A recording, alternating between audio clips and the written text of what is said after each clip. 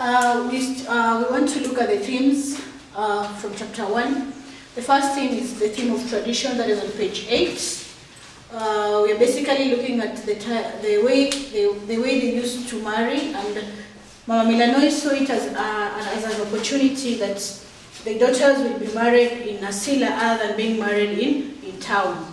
Then we have the theme of love. This is basically seen on page 9, whereby the, uh, Ole Kaelo remembers the time that uh, he fell in love with Mama Milanoi and he even went ahead and married her. Then we have the theme of change, that is basically on page 3, whereby we are told about the relocation, that is basically the time that they moved from Nakuru to Nasila and the way of life. They were used to the, they, they were used to Nakuru, but now they had to move to, to Nasila. That is basically theme of change. And the same, another theme of change again, we, we, we're looking at page 14. This is the difference between the life in, of Nakuru and the life of Nasila. The girls were used to be woken up by rowdy, uh, rowdy matatus and the noise from the town. But this time, when they are in Nasila now, the, the, the, the atmosphere is very serene and they are woken up by the clatter and chatter of, of birds. Uh, this is a clear indication of the contrast between Nakuru town and Nasila. Uh, then we have dialogue. This is basically between Taiyo and Resian on page 2 to 3.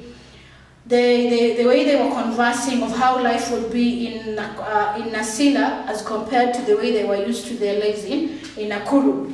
Then we also have marriage, theme of marriage. This is basically seen uh, on page 10, that is between Ole Kaelo and Mama Milanoi.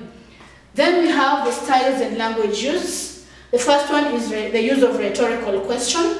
Rhetorical question is seen on page 5, whereby uh, somebody was asking, are we ever going to live? You know, when you're looking at rhetorical questions, these are questions that don't necessarily need what? An answer. You can ask yourself, but you don't, you know the, the, the answer is obvious, so you don't really need an answer. That is seen on page five. On page five, that is a style. Then we have irony. Irony is basically opposite of the expected. When you're looking at irony, it's seen on page 10. This is because Ole really detested Resian since the time that she was born. As we all know, as parents, people expect that when a child is born, the parent will really maybe love her. But at this point, uh, uh, detests Resian because he had expectation that the time that Mamilano was pregnant, she was going to give birth to a, a boy or a son. But in a real sense, the child who was born was a girl. This made him to become angry and also to really detest and never liked Resian at all as compared to the way he really loved who? Taiyo. Then we have flashback on page 5. This is the time that Resian, uh, sorry, not Resian, this is the time that Taiyo remembers, the time that they had a battle with the father uh, when, she, when he had denied her a chance to go to the music extravaganza in, in Mombasa. Then we have a description whereby the time that Ole Kaelo remembers how he had courted Mama Milanoi up to the time that they get married.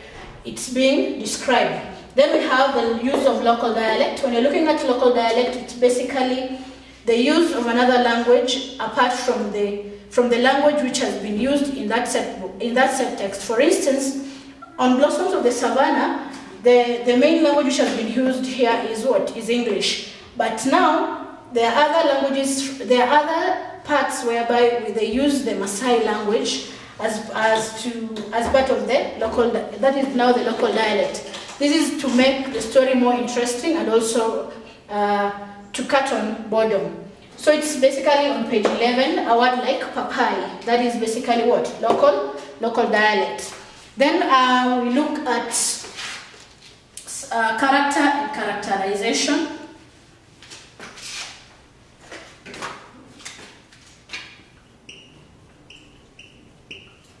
character and characterization.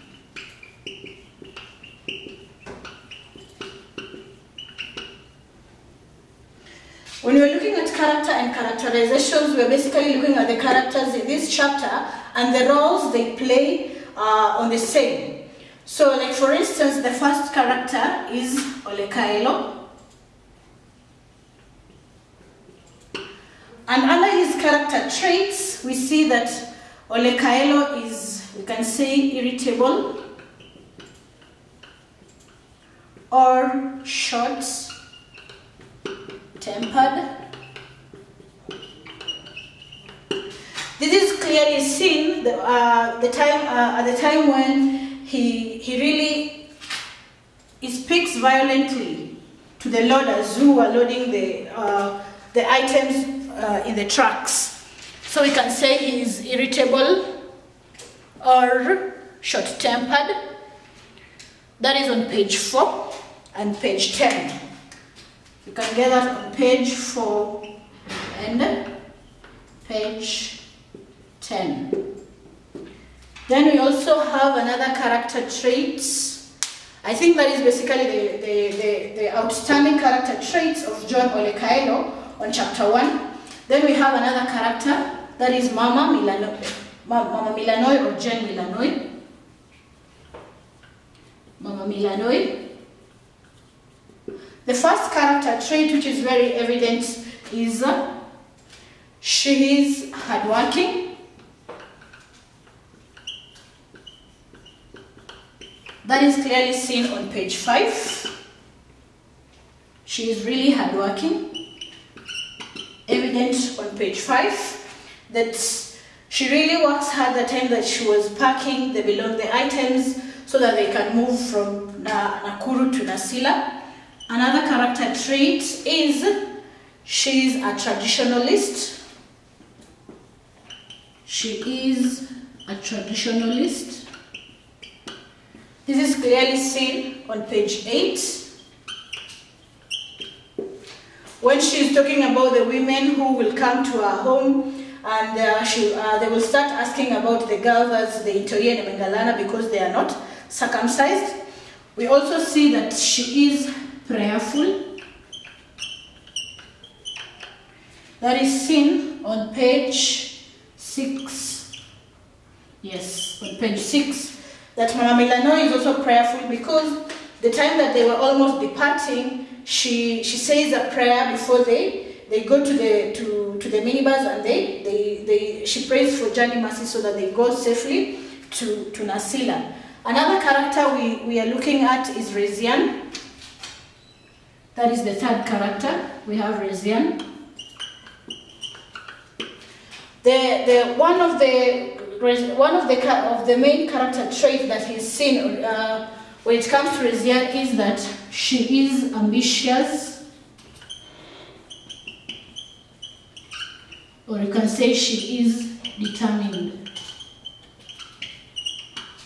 Resian is really ambitious or determined because despite the fact that she, they are going back to Nasila, she tells the sister that you can talk to Papa so that we come back to Nakuru and we are able to enroll to the Egerton University and we, are, uh, and we pursue our dreams. Like for instance, in her own case, she wanted to become a veterinary officer.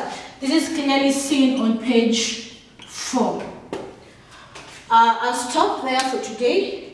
But basically, there are those things you have to always remember as a student that you have to, when you're looking at character, for instance, character and characterization, styles and language use, and also the thematic concepts that you have to identify and also illustrate.